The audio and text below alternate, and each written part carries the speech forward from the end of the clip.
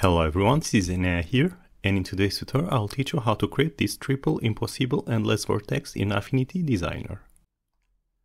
A few months ago I already recorded a tutorial on how to create the impossible endless vortex with two spirals, and it was rather well received. So I decided to create a new tutorial on how to create an impossible endless vortex with three spirals, as well as using a better and improved method. Alright, so to get started, we go to File, New, and we create a new composition.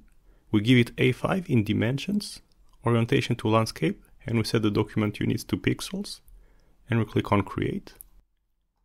And then we make sure that snapping, snap to guides, snap to object bounding boxes, and include bounding box midpoints are enabled. And then we're going to set some center guides, so we go to View Guides, and we add some horizontal and vertical center guides to the composition. And then we're going to start by creating the first spiral. So we take the ellipse tool, we set the fill to none, we leave the stroke as black, and we set the stroke width to one point. And then we go ahead and we create a circle, and we give it 500 by 500 pixels in dimensions. And then we take the move tool, we center it on the vertical axis, and we have its lower extremity match the horizontal axis. And then we're going to duplicate and rotate it, so we go here to enable transform origin. We set its rotation center in the middle of the composition. We press on enter to bring out the move duplicate panel. We check on duplicate, we set the numbers of copy to 23, as we need 24 overall. And we set the rotation angle to 15 degrees and we click on OK. So this gives us this torus shape. So we press on Ctrl A to select all the circles in the torus. And then we're going to take the shape builder tool, we're going to create the first branch. We set the action to plus and clean up to all unused geometry. And then we go ahead and we create a branch. So it must go like this in this orientation.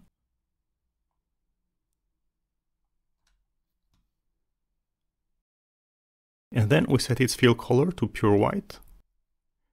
And we take the move tool. We set its rotation center in the middle of the composition. We press on Ctrl J to duplicate it. We set the rotation angle to 15 degrees.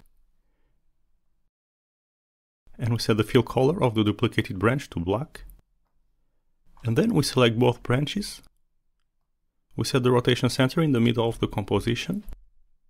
We press on enter to bring out the move duplicate panel. We check on duplicate and we set the numbers of copy to 11 and the rotation angle to 30 degrees. And we click on OK and this creates the first spiral. And then we press on Ctrl A to select all the branches in the spiral. We press on Ctrl G to group them together.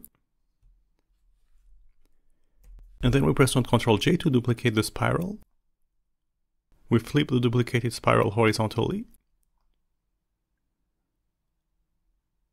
And we move the duplicated spiral to the right until its midpoint on its left extremity matches the center point of the first spiral. So now it must be positioned like this. And then the next step to make them appear connected, we hide the spiral at the top and then, while holding shift, we are going to select four branches of the first spiral here at the top right. So we need to select the branches that are fully above the horizontal guide. So we are going to select the branch here, and then while holding shift, we are going to select four branches overall. And then we bring them to the front, and then we bring them outside of the group and to the very top of the composition. And then we unhide the other spiral, and as you can see, these make them appear connected here at the top right of the first spiral. And then we're going to do the same thing here on the left. So we select the spiral on the right. We press on Ctrl J to duplicate it. And we bring it to the very front of the composition. And we move it to the left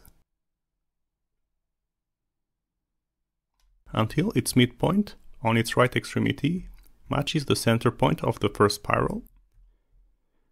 And then we're going to do the same things as for the spiral on the right. So we select the spiral on the left. And here, on the bottom left of the first spiral, we need to select four branches overall that lie fully underneath the horizontal guide. So we select this one, and then while holding shift, we select four branches overall. And then we bring them to the front. And then we bring them to the very top of the composition, above the other spiral on the left. And then we unhide the spiral on the left, and as you can see, it makes them appear connected. And then there is one last thing that we need to do to make it appear as there is a smooth transition. Here we need to select the branches here, so this branch here, and while holding shift, this here, this here, and this here. And we need to bring them above the branches here. So we bring them to the very top of the composition. And as you can see, it gives it a smooth transition. So now we have a smooth transition to the three spirals, and this creates a triple impossible endless vortex. Alright, so that was it for this tutorial. You learned how to create a triple impossible endless vortex with three spirals. I hope you've enjoyed this tutorial and learned something from it. If you did, don't forget to like and subscribe for more Affinity Designer tutorials in the future. And until then, see you next time, bye!